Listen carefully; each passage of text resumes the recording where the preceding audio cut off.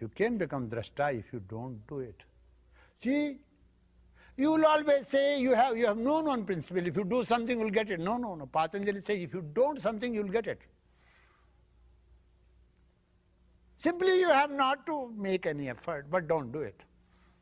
What? What not to do it? Not identifying yourself with the objects of the world. Please don't.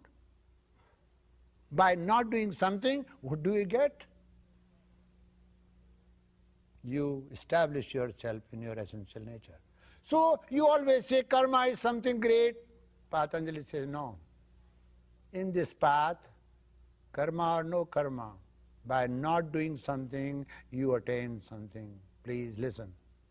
Don't identify yourself with the objects and there you are. It's not action.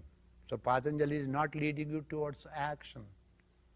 Patanjali is finally leading you towards self-realization, towards attainment, which is termed as samadhi. Then later on, when I describe other steps, then I will tell you the difference between yoga system, Patanjali system, Sankhya, and system of Vedanta, so that you don't have any conflict.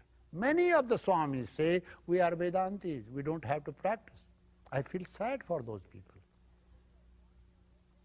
You see, whether you are Swami or no Swami, you will have to gather together all the resources to attain your goal.